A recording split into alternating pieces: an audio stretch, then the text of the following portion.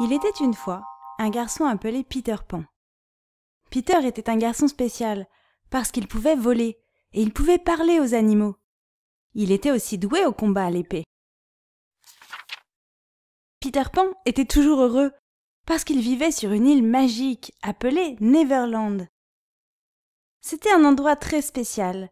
Il y avait de belles montagnes, des plages de sable et des forêts verdoyantes. Il y avait beaucoup d'animaux à Neverland. Il y avait des sirènes aussi. Mais la meilleure chose à Neverland, c'est que les enfants ne grandissaient jamais là-bas.